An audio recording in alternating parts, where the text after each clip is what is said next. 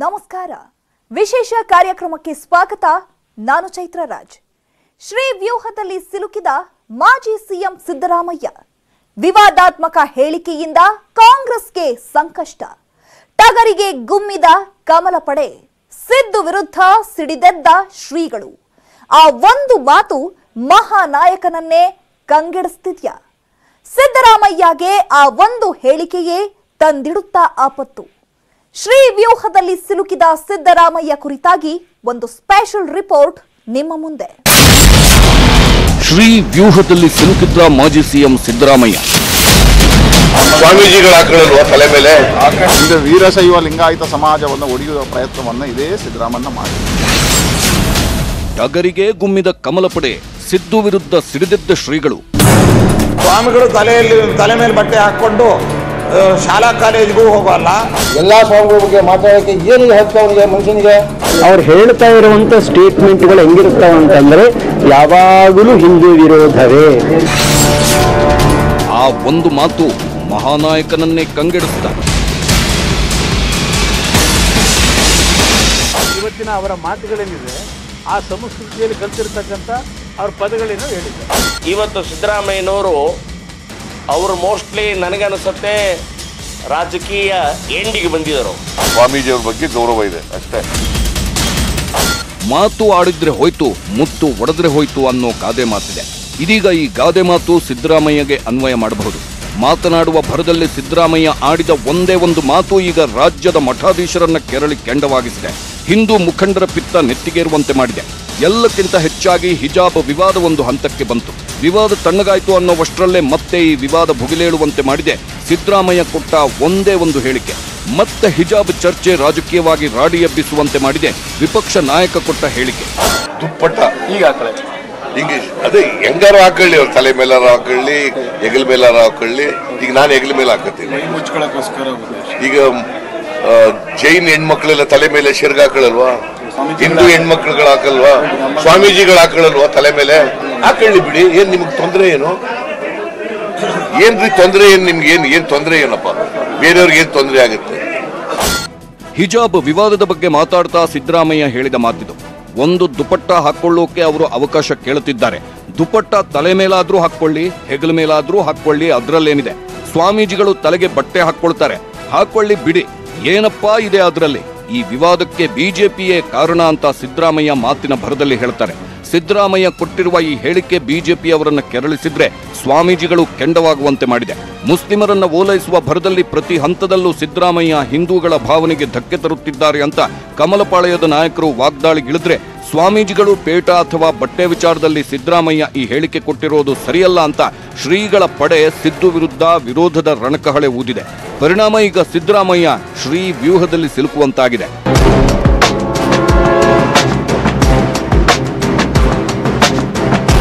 ಈ ಹೇಳಿಕೆ ಕೇವಲ ಸಿದ್ದರಾಮಯ್ಯರನ್ನ ಮಾತ್ರ ಸಂಕಷ್ಟಕ್ಕೆ ಸಿಲುಕಿಸಿಲ್ಲ. ರಾಜ್ಯ ಕಾಂಗ್ರೆಸ್ಗೆ ಸಂಕಷ್ಟ ತಂದಿಟ್ಟಿದೆ. ಹೌದು, ಕಾಂಗ್ರೆಸ್ಗೆ ಅದೇನು ಬಂದಿದ್ಯೋ ಗೊತ್ತಿಲ್ಲ. ಎರಡು ಸಾವಿರದ ಇಪ್ಪತ್ತೊಂದರ ಎಂಡ್ ತನಕ ಭಾರಿ ಹುಮ್ಮಸ್ಸಿನಲ್ಲಿದ್ದ ರಾಜ್ಯ ಕಾಂಗ್ರೆಸ್ ಈ ವರ್ಷ ಸಿಕ್ಕಾಪಟ್ಟೆ ಹೊಡೆತದ ಮೇಲೆ ಹೊಡೆತ ತಿಂತಿದೆ.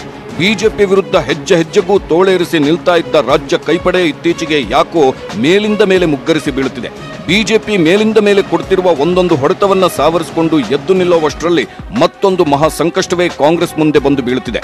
ಎರಡು ಸಾವಿರದ ಇಪ್ಪತ್ತೊಂದರ ಎಂಡ್ ತನಕ ರಾಜ್ಯ ಕಾಂಗ್ರೆಸ್ ಪಡೆಗೆ ಬಹಳ ಆತ್ಮವಿಶ್ವಾಸವಿತ್ತು. ಈಗ ಚುನಾವಣೆ ನಡೆದ್ರೂ ನಾವೇ ಗೆದ್ದು ಬರ್ತೀವೇನೋ ಎಂಬಷ್ಟು ಹುಮ್ಮಸ್ಸಿತ್ತು. ಬಿಜೆಪಿಗೆ ಎದುರು ನಿಂತು ಸರಿಯಾಗಿ ಟಕ್ಕರ್ ಕೊಡ್ತಿತ್ತು. ಆದರೆ ಇತ್ತೀಚೆಗೆ ರಾಜ್ಯದಲ್ಲಿ ನಡೆಯುತ್ತಿರುವ ಒಂದೊಂದು ಬೆಳವಣಿಗೆಗಳು ರಾಜ್ಯ ಕಾಂಗ್ರೆಸ್ ಪಾಳೆಯದ ಕೈ ಕಟ್ಟಿ ಹಾಕುವಂತೆ ಮಾಡಿದೆ. ಅದರಲ್ಲೂ ಮುಖ್ಯವಾಗಿ ಕಾಂಗ್ರೆಸ್ನ ನಾಯಕರು ಕೊಡ್ತಿರುವ ವಿವಾದಾತ್ಮಕ ಹೇಳಿಕೆಗಳು ಪಕ್ಷವನ್ನ ಇನ್ನಷ್ಟು ಪಾತಾಳಕ್ಕೆ ತಳ್ಳುವಂತೆ ಮಾಡುತ್ತಿದೆ ಇತ್ತೀಚೆಗೆ, ಅಂದ್ರೆ ಸರಿಸುಮಾರು ಒಂದು, ಒಂದೂವರೆ ತಿಂಗಳ ಹಿಂದೆ ಕಾಂಗ್ರೆಸ್ನ ಜಮೀರ್ ಅಹಮದ್ ಹಿಜಾಬ್ ವಿಚಾರವಾಗಿ ವಿವಾದಾತ್ಮಕ ಹೇಳಿಕೆ ಕೊಟ್ಟು ಇಡೀ ಪಕ್ಷವೇ ಇರುಸು ಮುರುಸಾಗುವಂತೆ ಮಾಡಿದ್ರು. ಅಂದು ಜಮೀರ್ ಅಹಮದ್ ಹಿಜಾಬ್ ಧರಿಸದೇ ಇದ್ರೆ ಅತ್ಯಾಚಾರ ಹೆಚ್ಚಾಗುವ ಸಾಧ್ಯತೆ ಇದೆ ಅಂದಿದ್ರು. ಈ ಹೇಳಿಕೆ ಬಿಜೆಪಿ ಮಾತ್ರವಲ್ಲ ಕಾಂಗ್ರೆಸ್ ನಾಯಕರು ಕೂಡ ಕೆಂಡಾಮಂಡಲವಾಗುವಂತೆ ಮಾಡಿತ್ತು. ಇದೀಗ ಸಿದ್ದರಾಮಯ್ಯ ಕೊಟ್ಟ ಹೇಳಿಕೆ ಕಾಂಗ್ರೆಸ್ಗೆ ಮಹಾ ಸಂಕಷ್ಟವನ್ನೇ ತಂದಿಟ್ಟಿದೆ. ಸಿದ್ದರಾಮಯ್ಯ ಹೇಳಿಕೆಯನ್ನ ಖಂಡಿಸಿದ ಸ್ವಾಮೀಜಿಗಳು, ಹೋರಾಟದ ಎಚ್ಚರಿಕೆ, ಕ್ಷಮೆ ಕೇಳಲು ಶ್ರೀಗಳ ಆಗ್ರಹ. ಇಕ್ಕಟ್ಟಿನಲ್ಲಿ ಸಿಲುಕಿದ್ರ ವಿಪಕ್ಷ ನಾಯಕ ಸಿದ್ದರಾಮಯ್ಯ.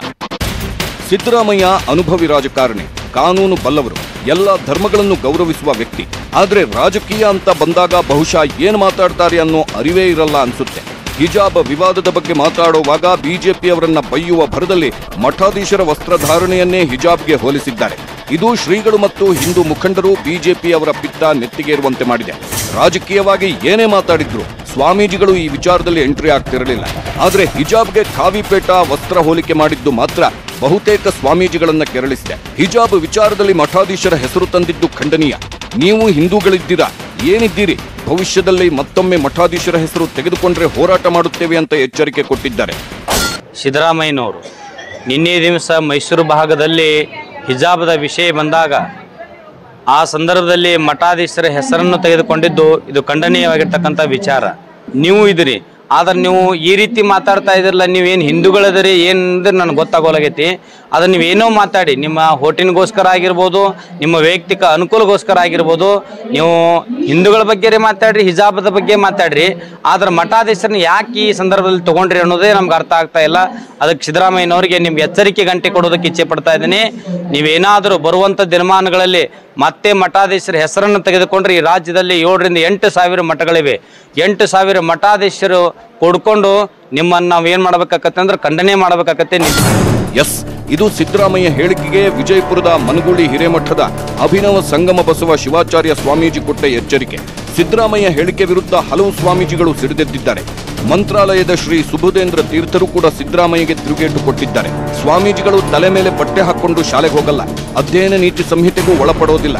ಈ ವಿವಾದಕ್ಕೆ ಸ್ವಾಮೀಜಿಗಳನ್ನು ಎಳೆದು ತರೋದು ಸರಿಯಲ್ಲ ಅಂತ ಖಂಡಿಸಿದ್ದಾರೆ. ಬೇರೆಯವರು ಸ್ವಾಮಿಗಳು ತಲೆ ಮೇಲೆ ಬಟ್ಟೆ ಹಾಕ್ಕೊಳ್ಳಲ್ವಾ ಅಥವಾ ಬೇರೆಯವರು ಬೇರೆ ಸಂದರ್ಭದಲ್ಲಿ ಹಾಕಲ್ವಾ ಅನ್ನುವಂಥದ್ದು ಅದು ಅಪ್ರಸ್ತುತವಾದ ವಿಷಯ. ಸ್ವಾಮಿಗಳು ತಲೆಯಲ್ಲಿ ತಲೆ ಮೇಲೆ ಬಟ್ಟೆ ಹಾಕ್ಕೊಂಡು ಶಾಲಾ ಕಾಲೇಜಿಗೂ ಹೋಗಲ್ಲ.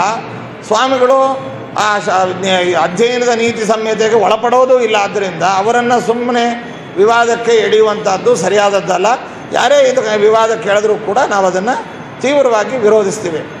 ಎರಡನೆಯದ್ದು ಅದೇ ಮುಸಲ್ಮಾನ್ ಬಾಂಧವರೇ ತಮ್ಮ ಮನೆಯಲ್ಲಿ ತಲೆ ಮೇಲೆ ಬಟ್ಟೆ ಹಾಕ್ಕೊಳ್ಳಿಕ್ಕಾಗಲಿ ಅಥವಾ ಶಾಲೇತರ ಸಂದರ್ಭಗಳಲ್ಲಿ ಬಟ್ಟೆ ಹಾಕ್ಕೊಳ್ಳಿಕ್ಕೆ ಯಾರೂ ಏನು ನಿಷೇಧ ಮಾಡ್ತಾ ಇಲ್ಲ.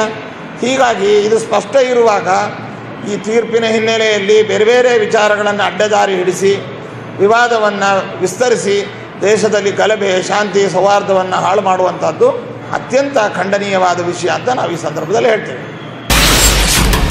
ಸಿದ್ಧ ರಾಮ ತೆಗೆದಿಟ್ಟು ಅಲ್ಲಾವುದ್ದೀನ್ ಖಿಲ್ಜಿ ಥಾಮಸ್ ಆಗಿ. ನೀವು ರಾಮನ ಪಾರ್ಟಿ ಅಲ್ಲ ರಾವಣನ ಪಾರ್ಟಿಯಲ್ಲಿರಬೇಕು. ಕಿಷ್ಕಿಂದೆ ಶ್ರೀ ಗೋವಿಂದಾನಂದ ಸರಸ್ವತಿ ಕೆಂಡಾಮಂಡಲ. ನೋಡ್ರಿ ಹೇಳ್ತಾನಲ್ವ ಸಿದ್ದರಾಮಯ್ಯ ಡೈಲಾಗು? ಇದನ್ನೇ ಸಿದ್ದರಾಮಯ್ಯಕ್ಕೆ ಅನ್ವಯ ಮಾಡ್ತಾ ಇದ್ದೀನಿ. ನೋಡ್ರಿ ಸಿದ್ದರಾಮಯ್ಯ ನೀವು ಹಿಂದೂಗಳಿಗೆ ಕ್ಷಮ ಕೇಳಲೇಬೇಕು. ಒಂದು ವೇಳೆ ಕ್ಷಮ ಕೇಳಿಲ್ಲ ಅಂತ ಅಂದರೆ ನೀವು ಹಿಂದೂ ಪರವಾಗಿ ಇಲ್ಲ ಅಂತ ಅರ್ಥ. ಒಂದು ಕೆಲಸ ಮಾಡಿ.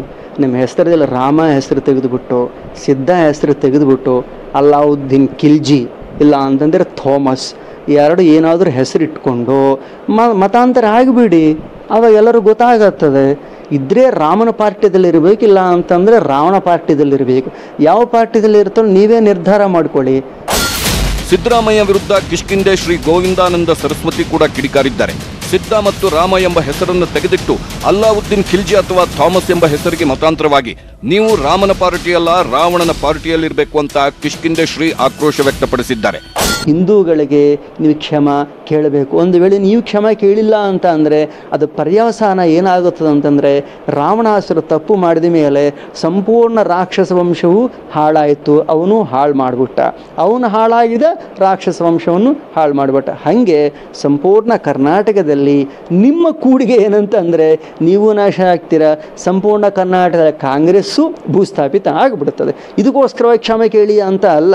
ಈಗಲೂ ನಾವು ಸಾಧು ಸಂತರ ಭಾಳಷ್ಟು ಜನ ಇದ್ದೀವಿ. ನೀವು ಏನಾದರೂ ಹೇಳಿಬಿಟ್ರೆ ಹಿಂದಿನ ಕಾಲದಲ್ಲಿ ಏನೋ ಹಂಗೆ ತಪ್ಪ ಸುಮ್ಮನೆ ಕೂತ್ಕೊಳ್ತೀವಿ ಹಂಗದ ಆ ಸ್ಥಿತಿಗಳೆಲ್ಲ ಹೋಗಿಬಿಟ್ಟಿದ್ದಾವೆ. ಹಲವು ಸ್ವಾಮೀಜಿಗಳು ಸಿದ್ದರಾಮಯ್ಯ ಹೇಳಿಕೆಯನ್ನು ತೀವ್ರವಾಗಿ ಖಂಡಿಸಿದ್ದಾರೆ. ಇನ್ನು ಸ್ವಾಮೀಜಿಗಳಷ್ಟೇ ಅಲ್ಲ, ಜೆಡಿಎಸ್ ನಾಯಕರು, ಬಿಜೆಪಿಯವರು ಕೂಡ ಸಿದ್ದರಾಮಯ್ಯ ಮಠಾಧೀಶರ ಬಗ್ಗೆ ಕೊಟ್ಟ ಹೇಳಿಕೆಯ ವಿರುದ್ಧ ಆಕ್ರೋಶ ವ್ಯಕ್ತಪಡಿಸಿದ್ದಾರೆ.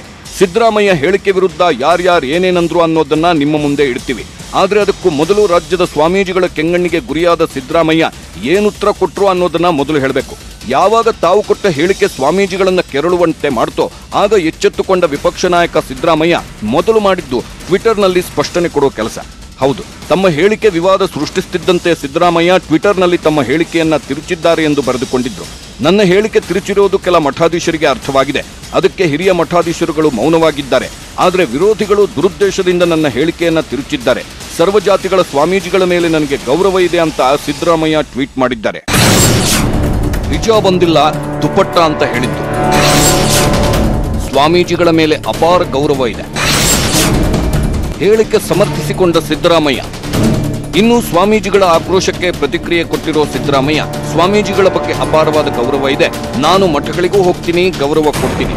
ನಾನು ಹಿಜಾಬ್ ಪದವನ್ನೇ ಬಳಸಿಲ್ಲ. ದುಪಟ್ಟ ಪದವನ್ನ ಬಳಸಿ ಸರ್ಕಾರಕ್ಕೆ ಹೇಳಿದೆ. ಮಕ್ಕಳು ಶಿಕ್ಷಣದಿಂದ ವಂಚಿತರಾಗಬಾರದು ಎಂಬ ಕಾರಣಕ್ಕೆ ಹೇಳಿದೆ ಅಂತ ತಮ್ಮ ಹೇಳಿಕೆಯನ್ನ ಸಮರ್ಥಿಸಿಕೊಂಡಿದ್ದಾರೆ. ಸಿದ್ದರಾಮಯ್ಯ ವಿವಾದಾತ್ಮಕ ಹೇಳಿಕೆ ಮತ್ತು ಅದಕ್ಕೆ ಕೊಟ್ಟ ಸಮರ್ಥನೆ ಹೇಗಿತ್ತು ಅನ್ನೋದನ್ನ ನೋಡೋಣ. ಅದೇ ಹೆಂಗಾರ ಹಾಕೊಳ್ಳಿ, ಅವ್ರ ತಲೆ ಮೇಲಾರ ಹಾಕೊಳ್ಳಿ, ಹೆಗಲ ಮೇಲಾರ ಹಾಕೊಳ್ಳಿ, ಈಗ ನಾನು ಹೆಗಲ ಮೇಲೆ ಹಾಕತ್ತೀನಿ. ಜೈನ್ ಹೆಣ್ಮಕ್ಳೆಲ್ಲ ತಲೆ ಮೇಲೆ ಶಿರ್ಗ ಹಾಕೊಳ್ಳಲ್ವಾ? ಸ್ವಾಮೀಜಿಗಳು ಹಾಕೊಳ್ಳಲ್ವಾ ತಲೆ ಮೇಲೆ? ಹಾಕೊಳ್ಳಿ ಬಿಡಿ, ಏನ್ ನಿಮ್ಗೆ ತೊಂದರೆ ಏನು? ಏನ್ರಿ ತೊಂದರೆ, ಏನ್ ನಿಮ್ಗೆ ಏನ್ ಏನ್ ತೊಂದರೆ ಏನಪ್ಪ? ಬೇರೆಯವ್ರಿಗೆ ಏನ್ ತೊಂದರೆ? ಆಗುತ್ತೆ. ನಾನೇನು ಹೇಳೋದು ಅಂತಂದ್ರೆ ನಮ್ಮ ಹೆಣ್ಮಕ್ಳುಗಳು ಕೂಡ ದುಪ್ಪಟ್ಟ ಹಿಜಾಬ್ ಪ್ರಶ್ನೆ ಮಾಡಿಲ್ಲ ನಾನು. ಹಿಜಾಬ್ ಬೇರೆ ದುಪ್ಪಟ್ಟು ಬೇರೆ ಬುರ್ಕ ಬೇರೆ. ಅದನ್ನ ಸರ್ಕಾರಕ್ಕೆ ಕೇಳಿದೆ ನಾನು ಸಲಹೆ ಮಾಡಿದೆ. ಶಿಕ್ಷಣದಿಂದ ವಂಚಿತರಾಗಬಾರ್ದು. ಪರೀಕ್ಷೆ ಬರೀಲಿಕ್ಕೆ ಅವ್ರಿಗೆ ಅವಕಾಶ ಮಾಡಿಕೊಡಿ ಅಂತ ಹೇಳಿದ್ದೀನಿ ಅಷ್ಟೇ. ಸ್ವಾಮೀಜಿಯವ್ರ ಬಗ್ಗೆ ಎಸ್ ಇದು ತಮ್ಮ ಹೇಳಿಕೆಗೆ ಮಾಜಿ ಸಿಎಂ ಸಿದ್ದರಾಮಯ್ಯ ಕೊಟ್ಟ ಸ್ಪಷ್ಟನೆ. ಇನ್ನು ಸ್ವಾಮೀಜಿಗಳ ಬಗ್ಗೆ ಮಾತನಾಡಿದ ಸಿದ್ದರಾಮಯ್ಯ ಹೇಳಿದ್ದು ಹೀಗೆ. ನಾನು ಬಹಳ ಸ್ಪಷ್ಟವಾಗಿ ಹೇಳ್ತೀನಿ, ಸ್ವಾಮೀಜಿಗಳ ಬಗ್ಗೆ ಬಹಳ ಅಪಾರವಾದಂತ ಗೌರವ ಇದೆ. ಈಗಲೂ ಇದೆ, ಮುಂದೆನೂ ಇರ್ತದೆ, ಯಾವಾಗಲೂ ಇರ್ತದೆ. ನಾನು ಎಲ್ಲ ಅನೇಕ ಮಠಗಳಿಗೆಲ್ಲ ಹೋಗಲ್ವ ನಾನು? ಮಠಗಳಿಗೆ ಹೋಗ್ತೀನಿ, ಸ್ವಾಮೀಜಿಗಳು ಕಾಣ್ತೀನಿ, ಸ್ವಾಮೀಜಿಗಳಿಗೆ ಗೌರವದಿಂದ ಮಾತಾಡಿಸ್ತೀವಿ ಅವರಿಗೆ.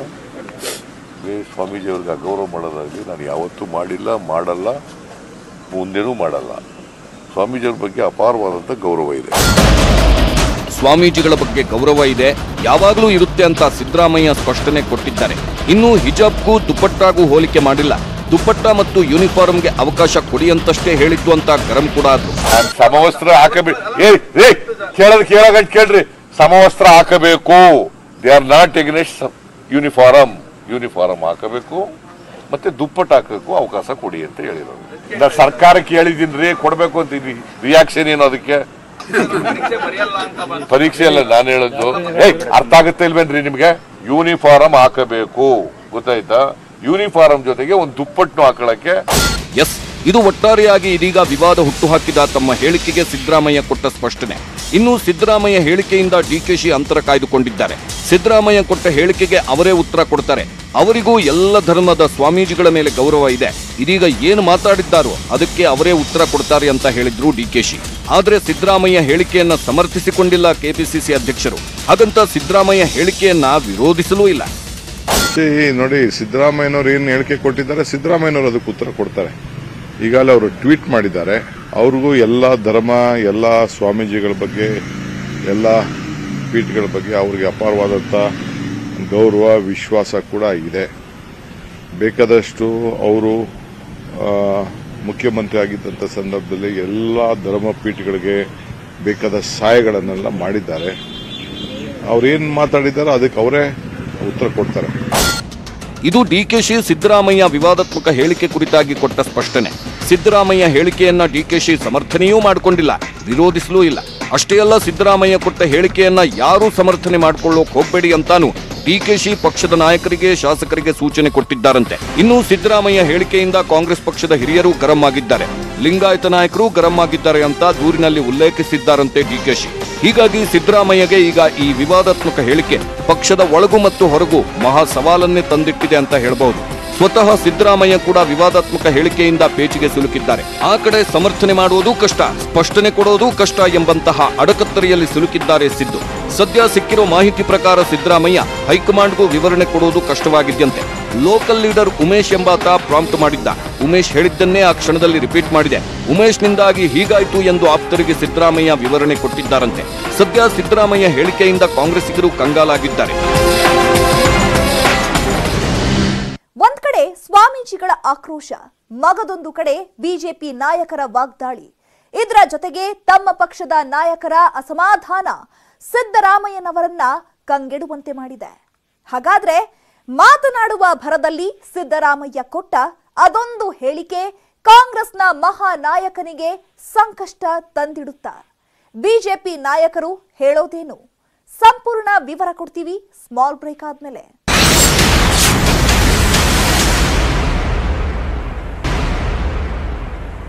ಸಿದ್ದರಾಮಯ್ಯ ವಿವಾದಾತ್ಮಕ ಹೇಳಿಕೆಯನ್ನ ಹಲವು ಸ್ವಾಮೀಜಿಗಳು ಖಂಡಿಸಿದ್ದಾರೆ. ಸಿದ್ದರಾಮಯ್ಯ ವಿರುದ್ಧ ಬಿಜೆಪಿ ನಾಯಕರು ಸಿಡಿದೆದ್ದಿದ್ದಾರೆ. ಹಾಗಾದ್ರೆ ಸಿದ್ದರಾಮಯ್ಯ ಹೇಳಿಕೆಗೆ ಬಿಜೆಪಿ ನಾಯಕರು ಏನೇನಂದ್ರು? ಆ ಕುರಿತ ಮಾಹಿತಿ ನಿಮ್ಮ ಮುಂದೆ. ಹಿಜಾಬ್ ಅಗ್ನಿಕುಂಡಕ್ಕೆ ತುಪ್ಪ ಸುರಿದಂತಾಗಿದೆ ಸಿದ್ದರಾಮಯ್ಯ ಕೊಟ್ಟ ಹೇಳಿಕೆ. ಈ ಕಡೆ ಸಿದ್ದರಾಮಯ್ಯ ಹೇಳಿಕೆಯಿಂದ ಕಾಂಗ್ರೆಸ್ ಅಂತರ ಕಾಯ್ದುಕೊಂಡಿದ್ರೆ ಬಿಜೆಪಿ ಭರ್ಜರಿಯಾಗಿ ಸಿದ್ದರಾಮಯ್ಯ ವಿರುದ್ಧ ವಾಗ್ದಾಳಿಗಿಳಿದಿದೆ. ಒಂದು ಧರ್ಮವನ್ನ ಓಲೈಕೆ ಮಾಡುವ ಭರದಲ್ಲಿ ಸಿದ್ದರಾಮಯ್ಯ ಏಕಾಂಗಿ ಆದ್ರ ಅಥವಾ ಮಾತಿನ ಭರದಲ್ಲಿ ಬಾಯಿ ತಪ್ಪಿ ಹೋಲಿಕೆಗೆ ಇಳಿದ್ರ ಗೊತ್ತಿಲ್ಲ. ಆದರೆ ಕೇಸರಿ ಶಾಲು ಮತ್ತು ಹಿಜಾಬ್ ವಿಚಾರದಲ್ಲಿ ಅಂತರ ಕಾಯ್ದುಕೊಂಡು ಬಂದಿದ್ದ ಕಾಂಗ್ರೆಸ್ಗೆ ಸಿದ್ದರಾಮಯ್ಯ ಕೊಟ್ಟ ಹೇಳಿಕೆ ಸರಿಯಾಗಿ ಡ್ಯಾಮೇಜ್ ಮಾಡಿದೆ. ಈ ಕಡೆ ಬಿಜೆಪಿ ನಾಯಕರಿಗೂ ಕಾಂಗ್ರೆಸ್ ಮೇಲೆ ಮುಗಿಬೀಳಲು ಒಂದೊಳ್ಳೆ ಅಸ್ತ್ರ ಸಿಕ್ಕಂತಾಗಿದೆ. ಸಿದ್ದರಾಮಯ್ಯನವರ ಹೇಳಿಕೆ ಕಾಲಕಾಲಕ್ಕೆ ಸ್ಫೋಟಗೊಂಡಾಗ ಭಾರತೀಯ ಜನತಾ ಪಕ್ಷಕ್ಕೆ ಅದರಿಂದ ಅನುಕೂಲ ಆಗುತ್ತೆ ಅಂತ ಅನಿಸುತ್ತೆ ನನಗೆ. ಒಂದೊಂದು ಸಾರಿ ಸಿದ್ದರಾಮಯ್ಯನವರು ಇಂಥ ಹೇಳಿಕೆಯನ್ನು ಹೇಳ್ತಾ ಇರ್ತಾರೆ. ಸಿದ್ದರಾಮಯ್ಯ ಇಂತಹ ಹೇಳಿಕೆಯನ್ನ ಆಗಾಗ್ಗೆ ಕೊಡ್ತಿರಬೇಕು. ಇದರಿಂದ ಬಿಜೆಪಿಗೆ ಲಾಭ ಅಂತ ಕೋಟಾ ಶ್ರೀನಿವಾಸ್ ಪೂಜಾರಿ ಹೇಳಿದ್ದಾರೆ. ಇನ್ನು ಸ್ವಾಮೀಜಿಗಳ ಬಗ್ಗೆ ಮಾತನಾಡೋಕೆ ನಿಮ್ಗೇನು ಹಕ್ಕಿದೆ ಅಂತ ಸೊಗಡು ಶಿವಣ್ಣ ಕೂಡ ಗುಡುಗಿದ್ರು. ಸಿದ್ದರಾಮಯ್ಯ ಬ್ಲಡ್ ಈಗ ಮೀರ್ ಸಾದಿಕ್ ಬ್ಲಡ್ಗೆ ಕನ್ವರ್ಟ್ ಆಗಿದೆ ಅಂತ ಕೆಣಕಿದ್ರು. ಅಲ್ರಿ ನಮ್ಮ ಸ್ವಾಮಿಗಳ ಬಗ್ಗೆ ಮಾತಾಡೋಕ್ಕೆ ಎಲ್ಲ ಸ್ವಾಮಿಗಳ ಬಗ್ಗೆ ಮಾತಾಡೋಕ್ಕೆ ಏನಿದೆ ಹಕ್ಕು ಮನುಷ್ಯನಿಗೆ? ಬ್ಲಡ್ ಯಾವುದು? ನಮ್ಮದೇ ಬ್ಲಡ್ಡು ಆ ಬ್ಲಡ್ನ ಏನು ಮಾಡೋರೆ ಆ ಬ್ಲಡ್ನ ತಗೊಂಡೋಗ್ಬಿಟ್ಟು ಮೀರ್ ಸಾಲಿಕ್ ಬ್ಲಡ್ಗೆ ಕನ್ವರ್ಟ್ ಮಾಡಿಬಿಟ್ಟವನೆ ಯಾವಾಗ ಜಿನ್ನ ಮಾಡಿದಲ್ಲ ನಲ್ವತ್ತರಿಗೆ, ಅದಕ್ಕೆ ಕನ್ವರ್ಟ್ ಮಾಡಿಬಿಟ್ಟವನು ಇವನು. ಸಿದ್ದರಾಮಯ್ಯ, ಏನು ಹುಡುಗಾಟನೇನ್ರಿ ಇನ್ನು ಬಿಸಿ ಪಾಟೀಲ್ ಕೆಎಸ್ ಈಶ್ವರಪ್ಪ ಹಾಲಪ್ಪ ಮತ್ತು ನಳಿನ್ ಕುಮಾರ್ ಕಟೀಲ್ ಸೇರಿದಂತೆ ಹಲವು ಬಿಜೆಪಿ ಮುಖಂಡರು ಸಿದ್ದರಾಮಯ್ಯ ಹೇಳಿಕೆಯನ್ನು ಖಂಡಿಸಿದ್ದಾರೆ. ಮನಸ್ಸಿಗೆ ಬಂದಂಗೆ ದಾಳಿಗೆ ಮೇಲೆ ಹತೋಟಿ ಇಲ್ಲದೇ ಮಾತಾಡ್ತಾ ಇದ್ದಾರೆ. ಇದು ಸರಿಯಲ್ಲ ಇದು ಕಾಂಗ್ರೆಸ್ ಪಕ್ಷಕ್ಕೆ ಮಾರಕ ಆಗುತ್ತೆ ಹೊರತು ಕಾಂಗ್ರೆಸ್ ಪಕ್ಷಕ್ಕೆ ಖಂಡಿತ ಪ್ಲಸ್ ಆಗಲ್ಲ. ಈ ರೀತಿ ಸ್ವಾಮಿಗಳನ್ನು ಕೂಡ ಖಂಡನೆ ಮಾಡುವಂತ ಒಂದು ನೀಚ ಕೆಲಸಕ್ಕೆ ಕೈ ಇದು ನಿಮ್ಮ ಕೊನೆ ಕೊನೆ ನಿಮ್ಮ ನಿಮ್ಮ ರಾಜಕಾರಣಕ್ಕೆ ನಿಮ್ಮ ಪಕ್ಷಕ್ಕೆ. ಇವತ್ತೇ ಚುನಾವಣೆ ಕೊನೆ ಮಾಡಿಬಿಡಿ. ಅವ್ರ ರಾಜಕಾರಣ ಇವತ್ತೇ ಅಂತ್ಯ ಮಾಡಿ. ಎರಡ್ ಸಾವಿರದ ಎಂಬತ್ ಮೂರಕ್ಕೆ ಅವ್ರ ಎರಡ್ ಸಾವಿರದ ಇಪ್ಪತ್ತ್ ಮೂರಕ್ಕೆ ನಿಲ್ಬಾರ್ದು ಅವರು. ಸ್ವಾಮಿಯವರು ತಮ್ಮದಾದ ಪರಂಪರೆ ಐತೆ ತಮ್ಮದು ಇತಿಹಾಸ ಐತೆ ತಮ್ಮದವ್ರದ್ದು ಒಂದು ಅವ್ರದ್ದು ಒಂದು ಡ್ರೆಸ್ ಕೋಡು. ಅವ್ರು ಏನಂದರೆ ತಾವು ಹಾಕ್ಕೊಳ್ತಾರೆ. ಅದಕ್ಕೆ ಅದನ್ನು ನಾವು ಹೋಲಿಕೆ ಮಾಡ್ಕೊಳ್ಳೋದು ಎಷ್ಟರ ಮಟ್ಟಿಗೆ ಸರಿ? ಅವರೊಬ್ಬ ಮಾಜಿ ಮುಖ್ಯಮಂತ್ರಿಗಳು ಮತ್ತು ಗುರುಪೀಠಗಳ ಬಗ್ಗೆ ಅತಿ ತಿಳುವಳಿಕೆ ಇದ್ದವರು ಅಂತ ತಿಳ್ಕೊಂಡಿದ್ದೆ. ನಮ್ಮ ದೇಶದ ಸಂಸ್ಕೃತಿಯಲ್ಲೇ ಹೇಳುತ್ತೆ, ರಾಜಪೀಠಕ್ಕಿಂತಲೂ ಗುರುಪೀಠ ಶ್ರೇಷ್ಠವಾಗಿರ್ತಕ್ಕಂಥದ್ದು. ಹಾಗಾಗಿ ಗುರು ಸಂಸ್ಕೃತಿಯ ಬಗ್ಗೆ ಅವಹೇಳನ ಮಾಡ್ತಕ್ಕಂಥದ್ದು ಸರಿಯಲ್ಲ. ಇವತ್ತು ಗುರುಗಳ ಪರಂಪರೆ, ಗುರುಗಳ ಸಂಸ್ಕೃತಿಯನ್ನೇ ಅವರು ಪ್ರಶ್ನೆ ಮಾಡ್- ಮಾಡಿದ್ದಾರೆ. ಹೇಳಿದ್ರೆ ಅದೊಂದು ಅವಮಾನ ಮಾಡಿದ ರೀತಿಯಲ್ಲಿ. ಸಿದ್ದರಾಮಯ್ಯ ಇದು ಹೊಸ್ತಲ್ಲ. ಒಂದು ಕಡೆಯಿಂದ ನಾನು ನಾಸ್ತಿಕವಾದಿ ಹೇಳ್ತಾರೆ, ಕದ್ದು ಮುಚ್ಚಿ ದೇವಸ್ಥಾನಗಳಿಗೆ ಹೋಗಿ ಪ್ರಸಾದ ತಗೋತಾರೆ ಒಂದು ಕಡೆಯಿಂದ ಮಾಂಸಾಹಾರ ಸ್ವೀಕ ಸ್ವೀಕಾರ ಮಾಡಿ ನಾನು ಧರ್ಮಸ್ಥಳಕ್ಕೆ ಹೋದರೆ ಏನು ಅಂತ ಸವಾಲು ಹಾಕಿದರು. ಅದರ ಪರಿಣಾಮ ಮುಖ್ಯಮಂತ್ರಿ ಸ್ಥಾನವನ್ನು ಕಳ್ಕೊಂಡಿದ್ದಾರೆ. ಹೀಗೆ ಒಬ್ಬರಲ್ಲ ಇಬ್ಬರಲ್ಲ ಬಿಜೆಪಿಯ ಹಲವು ನಾಯಕರು ಸಿದ್ದರಾಮಯ್ಯ ವಿರುದ್ಧ ಆಕ್ರೋಶ ವ್ಯಕ್ತಪಡಿಸುತ್ತಿದ್ದಾರೆ. ಸೋಮವಾರ ಅಧಿವೇಶನದಲ್ಲೂ ಸಿದ್ದರಾಮಯ್ಯ ಕ್ಷಮೆಯಾಚಿಸುವಂತೆ ಪಟ್ಟು ಹಿಡಿಯಲು ಬಿಜೆಪಿ ಪ್ಲಾನ್ ಮಾಡಿದೆ ಅಂತ ಹೇಳಲಾಗ್ತಿದೆ. ಒಟ್ಟಿನಲ್ಲಿ ಇದೀಗ ಸಿದ್ದರಾಮಯ್ಯಗೆ ಮಾತ್ರವಲ್ಲ, ಆ ಒಂದು ಹೇಳಿಕೆ ರಾಜ್ಯ ಕಾಂಗ್ರೆಸ್ಗೆ ಸಂಕಷ್ಟ ತಂದಿಡುವ ಹಂತಕ್ಕೆ ಬಂದಿದೆ. ಸದ್ಯಕ್ಕಂತೂ ಕಾಂಗ್ರೆಸ್ನ ನಾಯಕರು ಸಿದ್ದರಾಮಯ್ಯ ಹೇಳಿಕೆಯ ಕುರಿತಾಗಿ ಯಾವುದೇ ಪ್ರತಿಕ್ರಿಯೆ ನೀಡುತ್ತಿಲ್ಲ. ಮುಖ್ಯವಾಗಿ ಶ್ರೀ ವ್ಯೂಹದಲ್ಲಿ ಸಿದ್ದರಾಮಯ್ಯ ಈಗ ಸಿಕ್ಕಾಕೊಂಡಿರೋದು ಕಾಂಗ್ರೆಸ್ಗೆ ಕಂಟಕವಾಗಿ ಪರಿಣಮಿಸಿದೆ. ಇದಾಗಿತ್ತು ಈ ಹೊತ್ತಿನ ವಿಶೇಷ. ನೋಡ್ತಾ ಇರಿ ನ್ಯೂಸ್ ಏಟಿನ್ ಕನ್ನಡ. ಜಾಲ ನಮ್ಮದು ಬಲ ನಿಮ್ಮದು.